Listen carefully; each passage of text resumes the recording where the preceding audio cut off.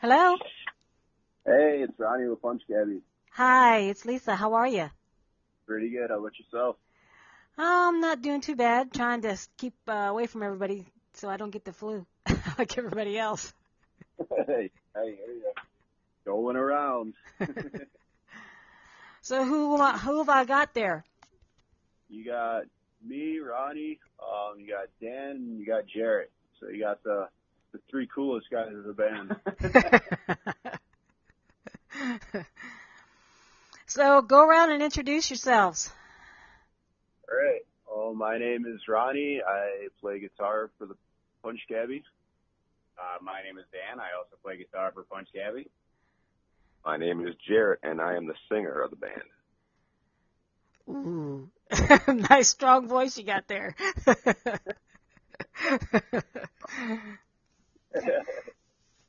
so give me a little bit of history about uh, Punch Cabbie and like uh, how it came about and then how you got the name and your sound.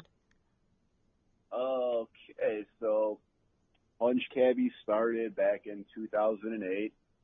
Um, I responded to a Craigslist ad of uh, our two two uh, original singers from the band. Um, they were looking uh, for musicians, so we got together, um, went over what kind of what we wanted to do, um, the directions that we were going, and um, found a couple other guys, and we rented up by the hour spot just to see how things would go. And um, yeah, I mean, definitely it it clicked between the um, the three of us, me and the two singers. So um, the other guys that came out that time, I mean, they obviously they didn't make the final cut. So um, yeah, the, me and uh, the two singers kind of started scouting out other um, other musicians. We wanted another guitar player, um, obviously a bassist and drummer.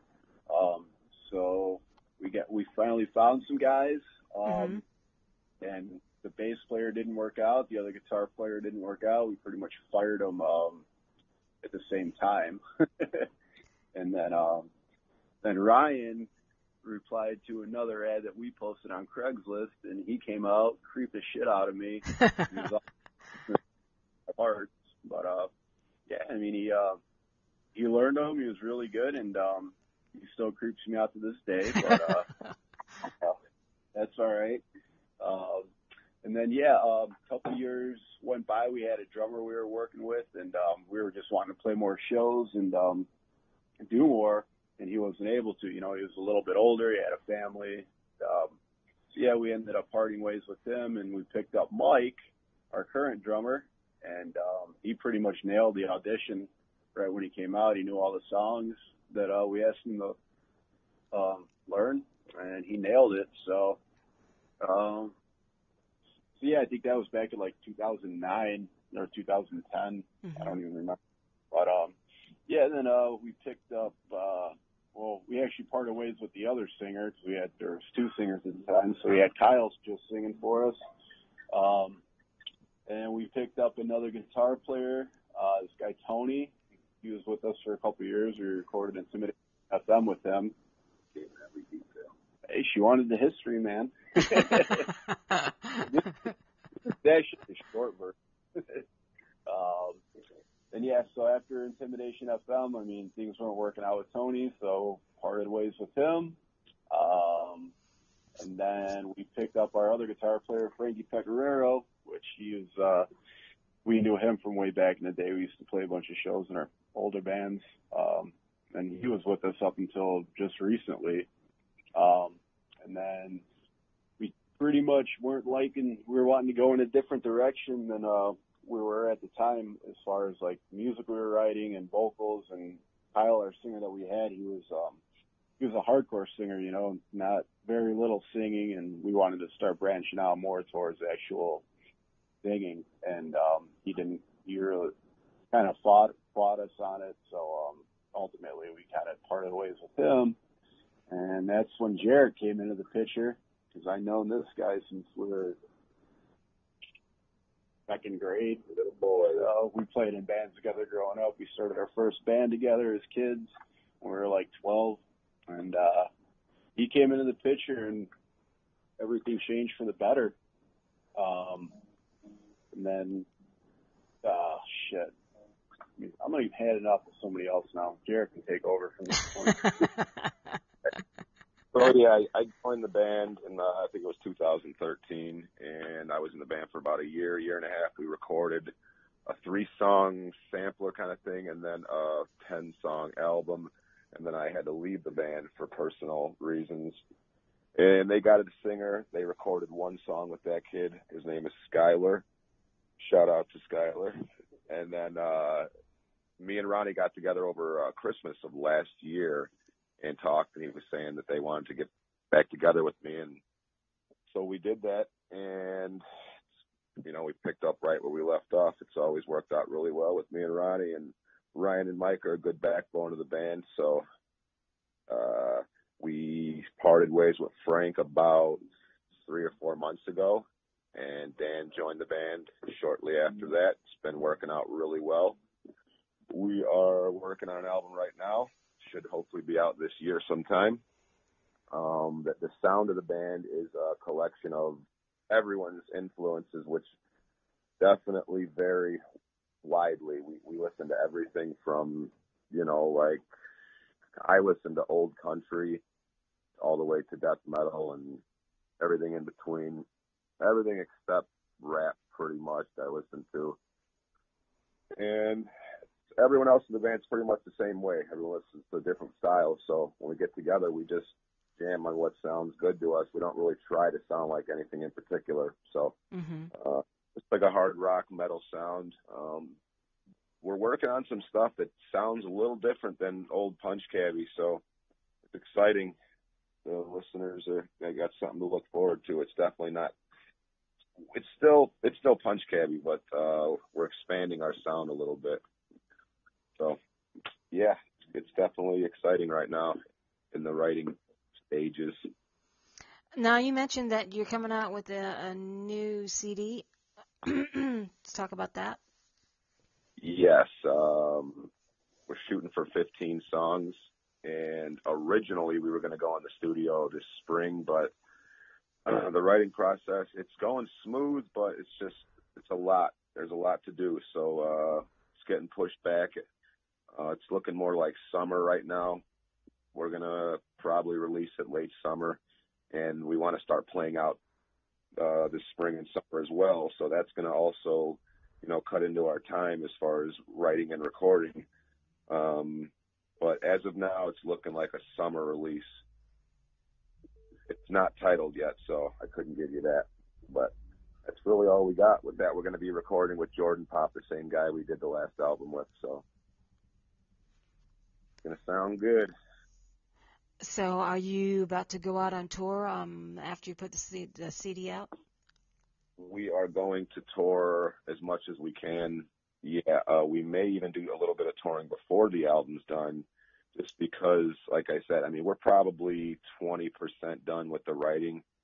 Um, you know, maybe 25%. So we we got a long way to go, and we want to start playing shows once it gets nice out. So right. it's gonna going to be a, a tough thing to, to try to balance the two, the writing and recording with the playing out. So, um, uh, yeah, but we're going to tour as much as possible this year. All right. So, um, where can most of the people find your new music once it's going to be out there? Is it going to be available everywhere?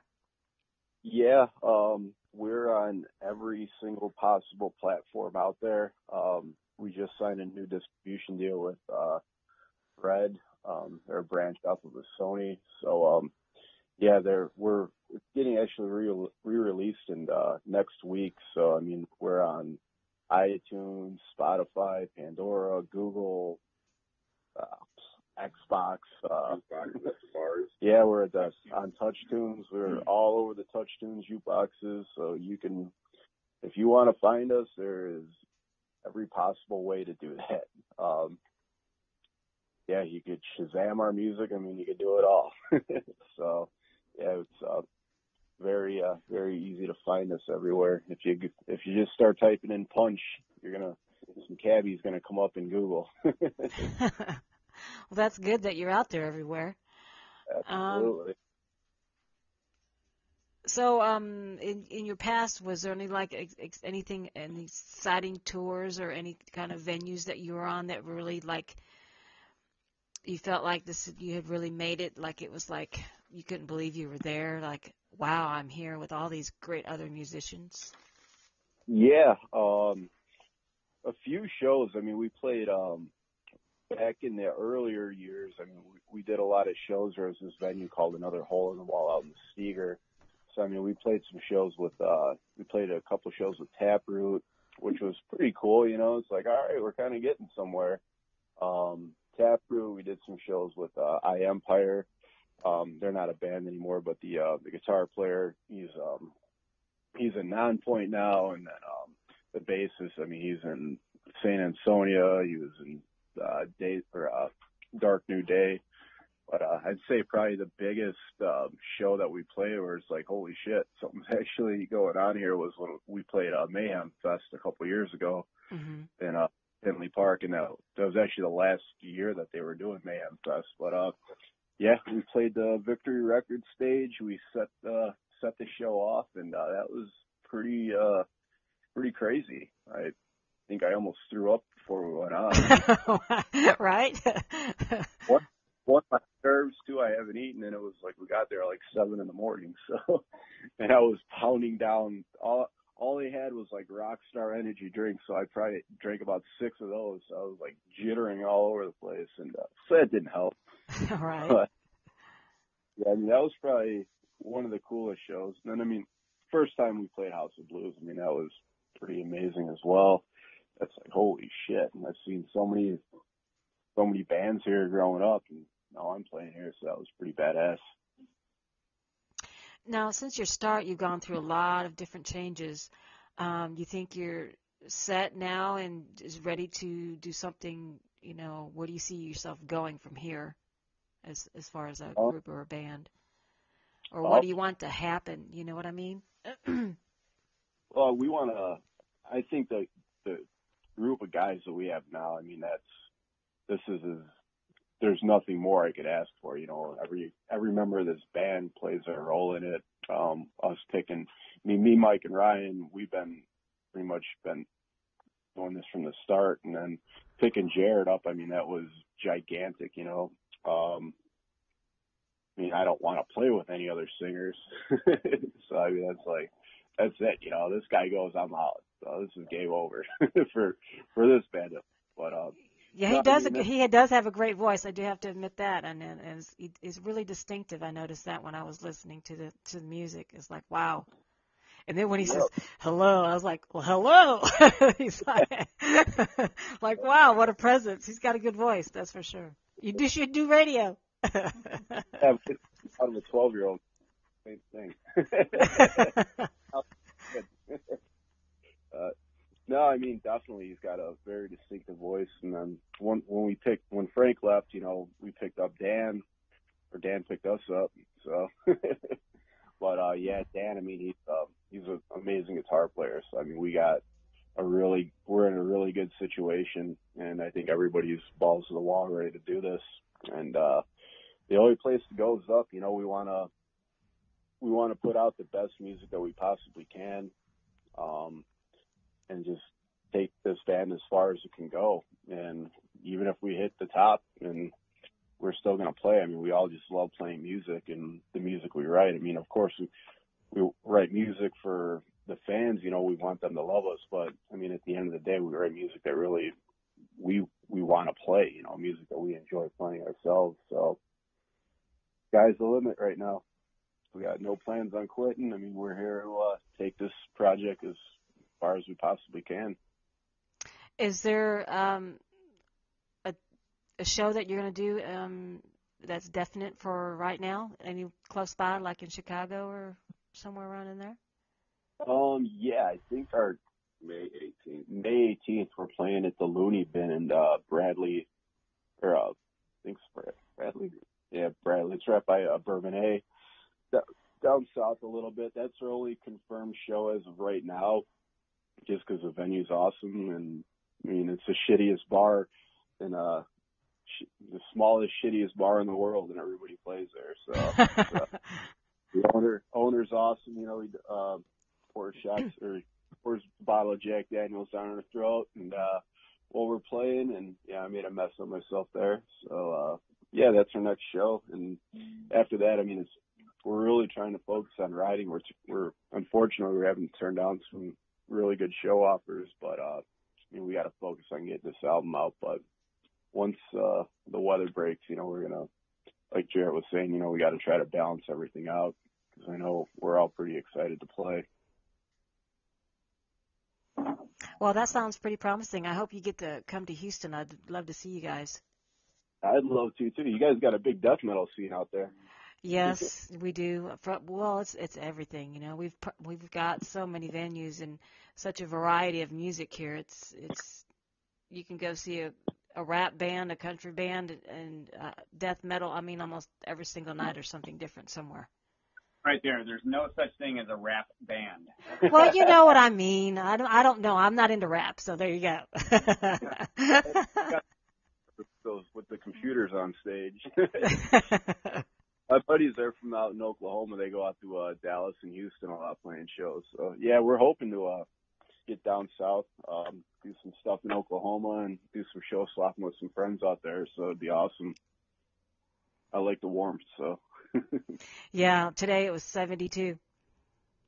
Oh well, I, I think yeah, it's you like. can shove it. but wait, wait, we're getting a cold front. It's going to be in the 50s tomorrow. Oh, you poor thing. you do. I know you pity me, don't you? you got to make your way up to Chicago to see what, uh, what, what cold's really like. well, I'm originally from New York, so you, you know you ain't got to tell me. I'm from Buffalo, New York, and you can't get no colder than that. That's brutal out yeah, there. That's brutal. Right.